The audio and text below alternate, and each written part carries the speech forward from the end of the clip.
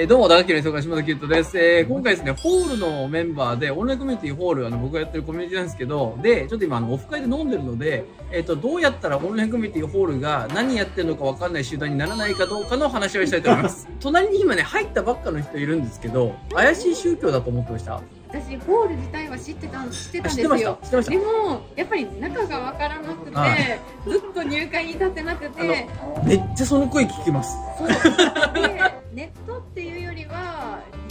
方がは好きだったので、福岡のアンサンブルっあ福岡のね、はい、この間やった福岡のアンサンブル企ていうのがきっかけ画。うん。そうだから中の実態が本当わからなかったんですよそうなんですよね。うん。中の実態わかんないですよね。で何やってるかなって言われたら、あの、毎月15日に懇親会してるじゃないですか。そうですね。と、まあ、リーダー会はね、別でやってますけど、と、えっ、と、リモートアンサンブル定期的にやってて、年に2回発表会オンラインでまあやってて、あとはこうやってなんか最近はね、コロナ明けたので、ちょいちょいオフ会をいろんなところでやってるっていう感じかな。あとはなんか、それぞれ皆さんが企画したもの。例えば僕も参加したのだと、麻雀一緒にやろう。やってますねあったでしょジャンタも最近やってな。最近やってないそう、最近やってないのよ。ジャンタマっていうあのアプリ使って、ホールのメンバーで、わけわかんないね、音楽コミュニティなのに麻雀やるっていう。えだって、それ言ったら別にホールで音楽関係ないことをめっちゃ喋ってますから。ああ、確かに。確かに例えば車好きとか、鉄道好きとかが、そうそうそうそうなんか好き勝手話てかしてたり。車好きと鉄道好き多いんですよ。本職の人もいるし。地味に。多いというよりは、声がでかい。確かにアクティブっていうね。アクティブ。またなんかどこどこサーキット行ってきましたとかね。うんっていうね、なんかそれぞれ趣味の合う人たちで仲良くどっか行ったり、またなんかね、あのイベント参加したりしてるっていう感じですよね。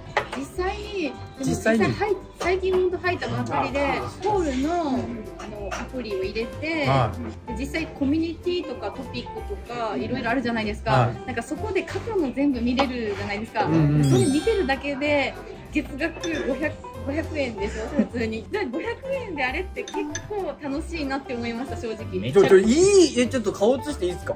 あ、やめよう。やめよう。はい、やめよう。はい、やめよう。めちゃくちゃ営業みたいじゃない。ですか。今こう、なんか、トムとジェリーみたいな動きじゃないだか。らやめよう。いや本当に500円でなんかこういう、まあ、実際にオフ会参加したくない人は参加しなければいいしあー確かにねでも実際に参加したい人からしたら本当500円でってめちゃくちゃ安いですよ確かに昔の配信とかもありますしね。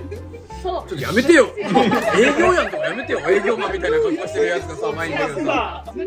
配信がめっちゃ見れるのが楽しいんですよ。あー、やっててよかった。えでも実際にその何でも言うこと聞いてくれる件って過去になんかめっちゃ変わった。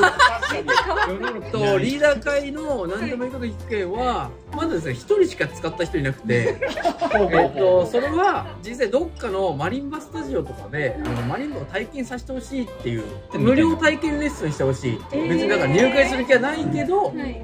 あのちょっと一回プロの人に経験として習ってみたいの音楽経験がない方が。で今日ねごげんさんねあの、本当は今これうちの教室の近くなんで教室で何でもいいこと聞く件を使って 体験レッスンをそれこそしてもらおうって言ってたんだけどあの思い今日あの人数が多くなったんであのちょっと店行こうかって なったからできなくなったっていうね。まあまそういういきさつが。こっちに来る折あったら、そうですねまたそれ使ってください。何でも寄付券を使って、ゆうとさんに、ちょっとメイド服になってもらおうかなと思って。そんなんでいいんですか？え？ノーパンメイド服やります？あ、じゃあちょっと帰りますわ。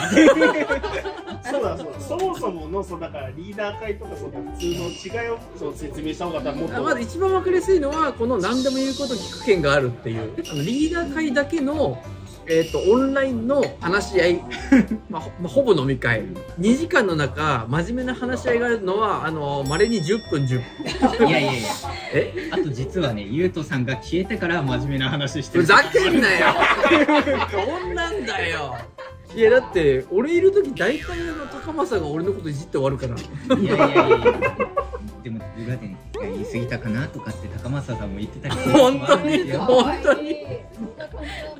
そんな感じなの？政さんああ見えて実は繊細さんなんですよ。そうですね。それは俺も知ってる。リーダー会で高政さんから本職の話を聞けるのはすごい楽しいです。あれめっちゃ面白かっためっちゃ面白かった。めっちゃ面白かった。すぎてやばかったですこんなことあったんや。そうそうそうそう。で僕が全然それそっちの方面知らないから、なんかこれ詳しく言えないからごめんね詳しく言えないんだけどなんかあそういう考え方あるんだみたいな話あって。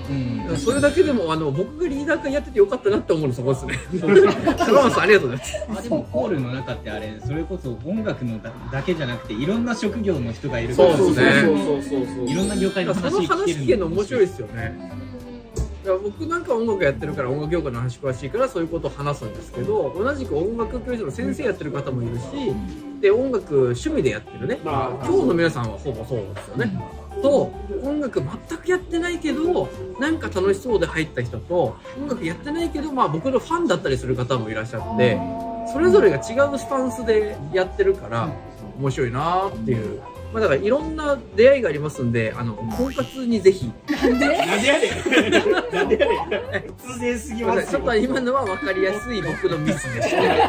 はい。みんなに入って変な人がいないっていうのを思いました。課金してるから。治安はいいかもしれないなんかねそういった意この味で1ヶ月ですけど、本当に変な人がいない。確変な人いるとこありますもんね。最初いますいますよよかったいや、俺のこと指さす。確かに。初期からずーっといてそういうなんか変な人いないですね本当に。変な荒れ方したことないですもんね。ないですね。なんかすごい治安はずっといいかなそう、っていうなんかその掲示板とかトピックも全然荒れてないじゃないですか。確かに荒れてはいない。そんな荒れてるような予想してたんですか？オンラインコミュニティっていうと荒れてるイメージ正直あるんですそようなんだ。顔が見えそう顔が見えないから、だけどみんなでずっとこう過去もあったから、なんか変な書き込みしてる人がいない。でもやっぱ、荒れない原因の一個は、懇親会で実際顔とか声出してることだと思うんですよ。確かに。いやいやそこはゆうとさんの人柄ですそうですねそうです？絶対思ってないじゃん、今のいやいやいやいや 平和ですよ、本当に。いやマジで平和。こういう話ができるぐらい平和っていうかそうそうそうだから X みたいな荒れ方しないですよ。僕たまになんか変なプチ炎上に巻き込まれることありますからね。えーでもどちらかといえば台風の目であって別にえ、周りが目じゃない目じゃないい。や台風の目って静かなんですよ。周りがなんかガチャガチャしてるだけで実はそんなにっていう確かにね。